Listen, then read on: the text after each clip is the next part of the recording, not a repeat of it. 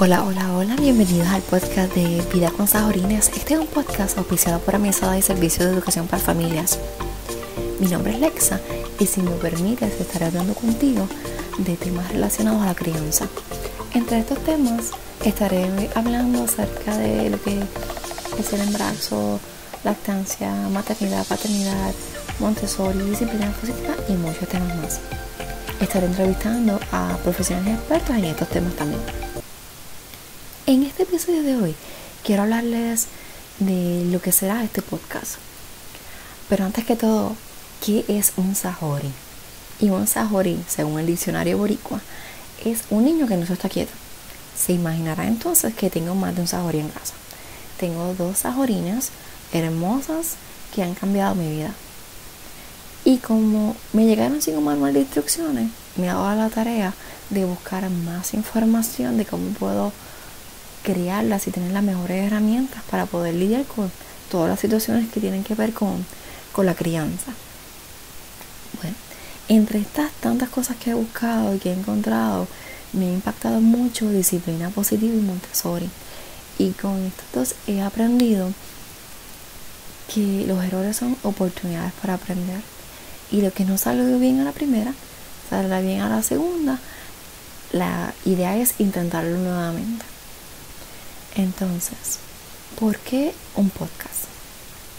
¿Por qué un podcast? Porque quiero poderle brindarle esta información que tengo e información que puedo encontrar con otras madres que siempre están de aquí para allá, que no se están quietas y que realmente no tienen tiempo para sentarse o para ver un video o leer un blog. Y me encantan los blogs y los videos sinceramente no los veo yo los escucho. Y porque me encontré haciendo eso, escuchando los videos sin mirarlos, porque realmente no tengo tiempo de sentarme y ver un video de no sé cuántos minutos. Lo que es que lo que hago todavía es que pongo el video en YouTube.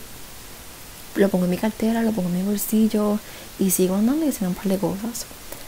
Entonces, pensé que si hay otras madres que están igual que yo, pues realmente quiero darle esta herramienta que es el podcast, que es tan práctica, porque a mí me encanta. Tú puedes bajar el podcast al teléfono, bajando en cualquiera de las aplicaciones, en la que viene con el teléfono sin un iPhone, está Stitcher y tengo otras más, que puedes bajar el podcast, el podcast lo bajas a tu teléfono, lo puedes escuchar en cualquier momento, en cualquier lugar. Si lo bajaste a tu teléfono no necesitas internet para poderlo escuchar y no tienes que estar ahí sentado eh, escuchándolo cuando sale, sino que es un programa a demanda. Y eso es lo práctico del podcast y por eso es que me encanta. Y descubrí el podcast curiosamente después del huracán María, justo después cuando nos encontrábamos sin comunicación alguna, no teníamos teléfono, no había manera de comunicarnos, tenía solamente una radioestación que daba las noticias y le agradezco hoy públicamente a, esos periodistas y todas esas personas que trabajan en esa estación que todo ese esfuerzo que hicieron para brindarnos la información que necesitábamos en ese momento porque no teníamos otra manera de comunicarnos.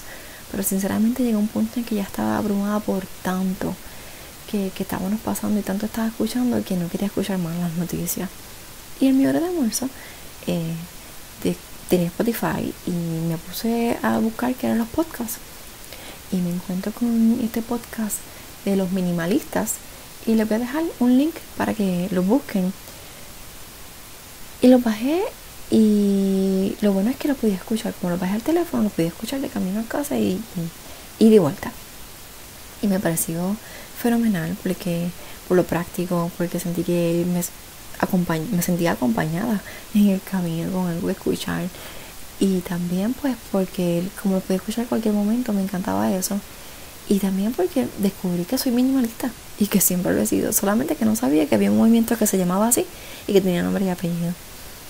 Entonces con esto del podcast pues nada, eh, como les sigo repitiendo, eh, decidí hacerlo y estoy escuchando unas personas maravillosas en los podcasts que, me nutren de información y yo le voy a dejar también unos links eh, abajo en las notas del programa para que los escuchen y los sigan porque realmente es una herramienta que, que me encanta y quiero compartir con ustedes. Entonces, de esto mismo, hablando que quiero compartir con ustedes, quiero hablar un poco sobre mí. Y eso me encanta. Me, me, encanta educar a las personas, me encanta ayudar, servir a otros. Y me encanta estudiar, aprender cosas nuevas. Me encanta leer, aunque admito que últimamente no tengo mucho tiempo para leer. me he encontrado que tengo muchos libros empezados, pocos terminados. Y he empezado a escuchar audiolibros. Estoy con los audiobooks y, y me encanta, es otra herramienta que me fascina. No me digan que lea un libro en un Kindle, en una tableta, en un iPad, lo que sea, porque realmente no puedo. Es algo que soy bien, como dicen, old school, bien old fashion, y me gusta tener el libro y pasar las páginas y poder marcarlas y todo eso. Pero he encontrado que con los audiolibros, pues sí, me gustan. Es igual, no tengo como que dónde puedo marcarlos, pero puedo escucharlos constantemente y, eso, me gusta. Soy una bibliotecaria frustrada, me encanta la paz, soy fomento la paz, soy amante de la paz, muchas veces del silencio, pero también me gusta los bullicios, me encanta cantar, bailar con mi hija, me, me gusta la playa, estar al aire libre, me crié en el campo, soy del centro de la isla de Puerto Rico y me encanta, pero también viví en Estados Unidos por 10 años y también me gustó mucho. Así que soy un poquito de allí, de allá y de acá. Pero boricua hasta el fin con la mancha de plata. ¿Y qué les puedo decir? Que soy una madre perfectamente imperfecta. Que trata todos los días de ser mejor para sus hijas. Y como muchas me creo Supermom, Wonder Woman, Enriqueta y Kukagumi. Y para las que, las que son más jovencitas que no saben quiénes son o que son, no son de Puerto Rico, búsquenla en Google para que sepan quiénes son. Y si eres un padre que me escucha, lo más seguro tu esposa tiene esas cualidades también. O tú también te crees super papá y medio superman. Y por estas madres, por estos padres que se sienten así, es que he querido crear este podcast para darle toda esa información y poder compartir y que compartamos un poquito más de nuestras vidas y de la crianza de nuestros hijos. Y ya finalizando, que ya este podcast va a ser el más cortito de todos, entiendo yo. Tampoco los demás podcasts van a ser muy largos. No quiero tampoco abrumarlos demasiado y, y hacerles perder el tiempo, porque el tiempo es una de las cosas más preciadas que tenemos. Así que espero ser eh, precisa y, e ir al grano. Entonces, quiero dejarlos con estas frases que, a mí me gustan mucho, y son, sembrad en los niños ideas buenas, aunque no las entiendan los años se encargarán de descifrarlas en su entendimiento y de hacerles florecer en su corazón. María Montessori. Cuando eduquemos para cooperar y ser solidarios unos con otros, ese día estaremos educando para la paz. María Montessori. No eduquemos nuestros hijos para el mundo de hoy. Este mundo habrá cambiado cuando sean grandes. María Montessori. Proverbios 22.6. Instruye al niño en su camino, y aunque fuera viejo, no se apartará de él. Bueno, los dejo con estos eh, para que mediten en ellos. Son unas frases que a mí me encantan y que vivo por ellas.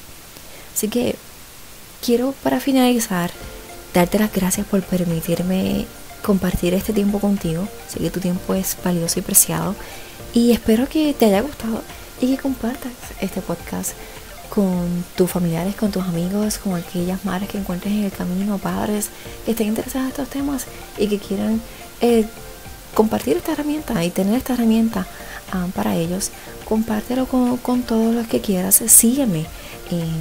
Sígueme en el show, en las redes sociales. Las redes sociales me encuentras como Amisadai, Servicios de Educación para Familias. Y me puedes seguir en mi blog, Vida con Sajorines escríbeme tus comentarios, dime si te gustó, si no te gustó, lo que te gustó, lo que no te gustó. Y también me puedes escribir al inbox. Eh, espero poder eh, ver tus comentarios, tus mensajes y contestarte. Espero que haya servido de valor y poder tener, traer valor a, tu vida eh, en estos podcasts. Muchas gracias nuevamente por escucharme.